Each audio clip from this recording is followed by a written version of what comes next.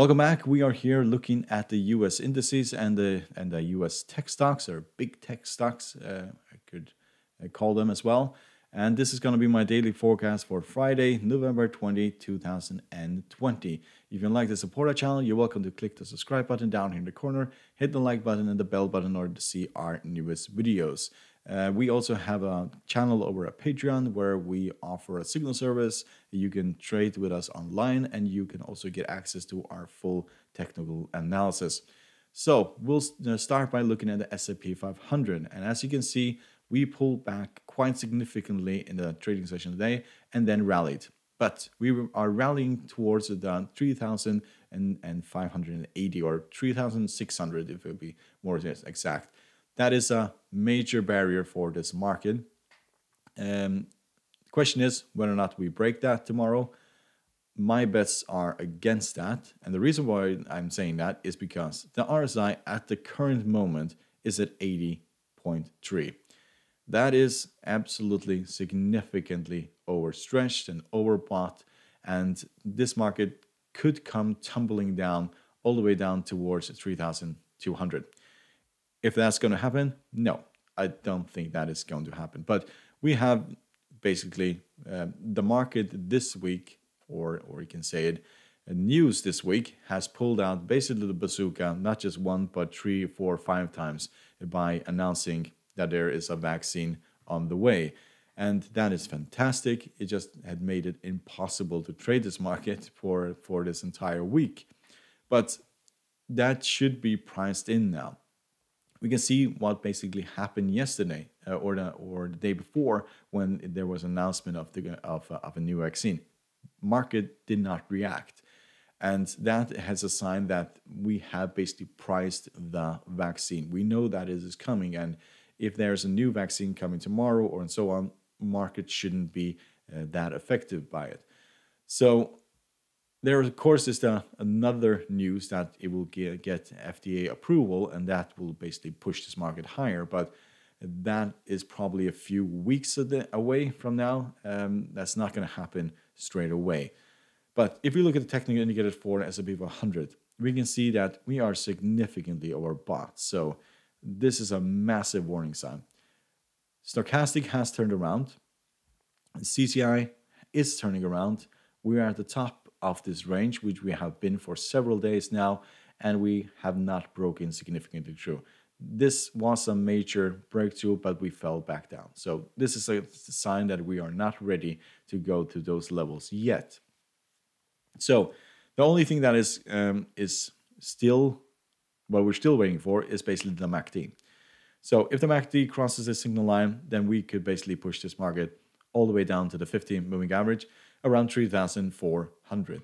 And that is, in my view, a more realistic thing that is going to happen than that this market is going to basically explode to uh, 3,700, 3,800, because then we would look at the RSI that would be over 90 and that I don't think that is going to happen. So I expect a pullback from here. Um, it's a risky trade to short this. The best thing is basically let this go as far as possible and then buy it in order to get a maximum value from this uh, trade. So let's look at the Dow Jones.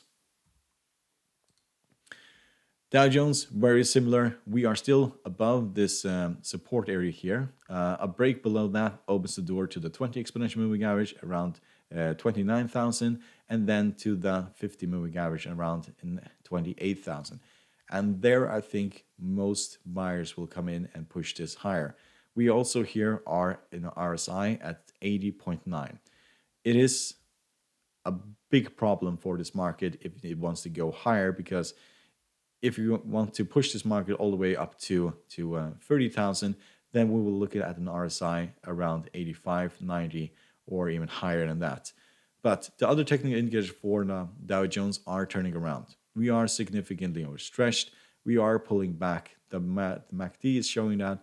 The stochastic is definitely showing that. So is our uh, CCI, and so are also the Bollinger Band.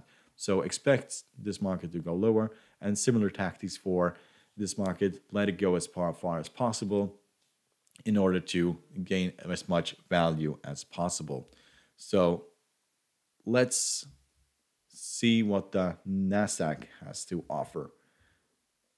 We can see that we have rallied quite significantly, and this was very late in the in the session. As you can see, most of these tech stocks have turned green, and that's also what is pushing the, for example, the uh, S&P 500 higher. Uh, and um, yes, if this holds, maybe we also are overbought in the Nasdaq.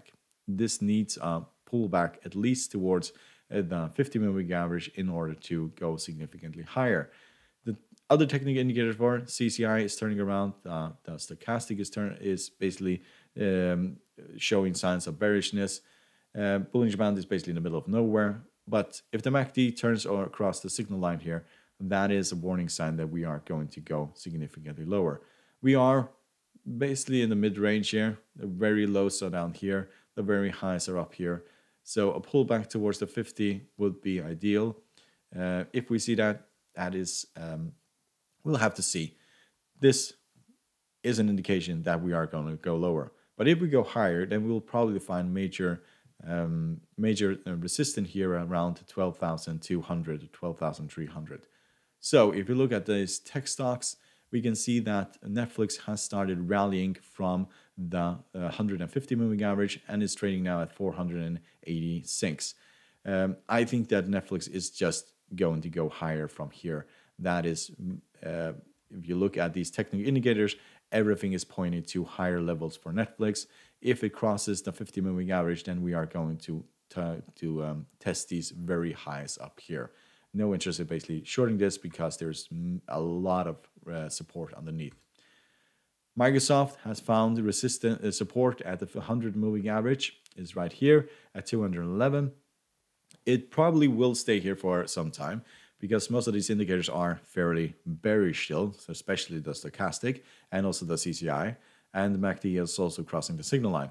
So we could break down towards the, the 150 moving average around 203. Um, we have room, for example, in the RSI, we're, all, we're at 60, so it, it, it's possible that we'll go significantly lower from here. So keep that in mind. We are in the middle of nowhere. A break below the 100 moving average opens the door to the 150. A rally from here, we can rally up towards 225. So if you look at Apple stock, we're still in the middle of nowhere, but this is a fairly encouraging uh, candle. But when you look at the stochastic, it is very, very, very bearish indeed. We are significantly overbought in, in Apple stock. So I favor these indicators favor the downside, um, not the upside. So a pullback from here opens the door to the 100 moving average at 111, and even uh, a pullback towards uh, uh, the 107 uh, dollar range. That is also possible.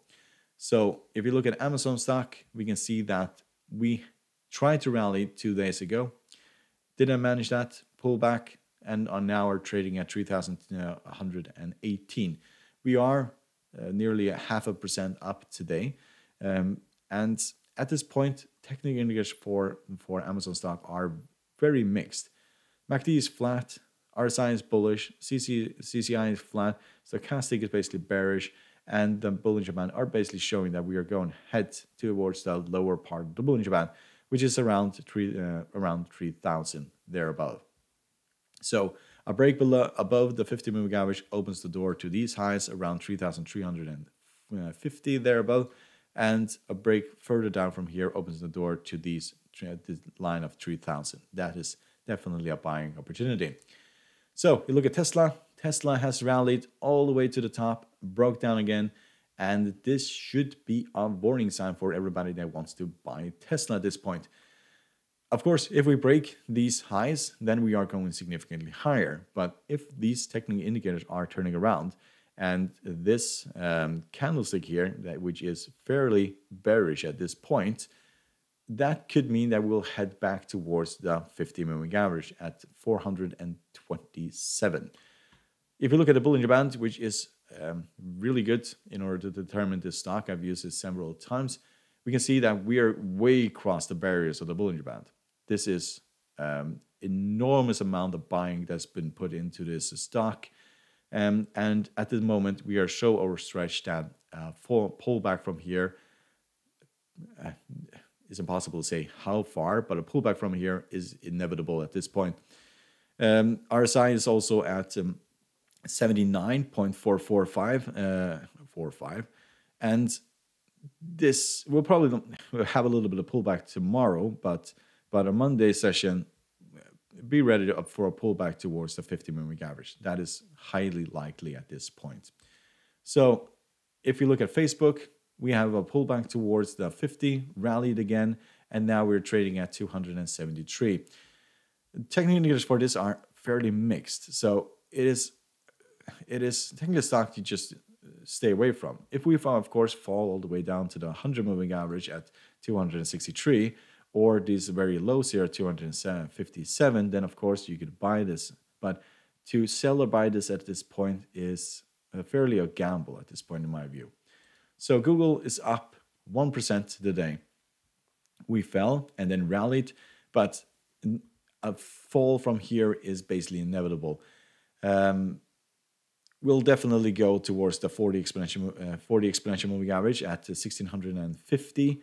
Uh, if you look at the technical indicators for this, they are all looking uh, much more bearish now than they did yesterday, and we are also significantly overbought. So uh, to buy this here is is a bad idea.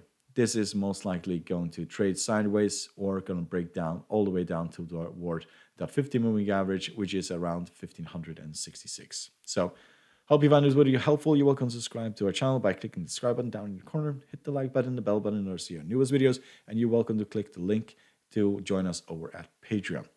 Good luck and thank you very much.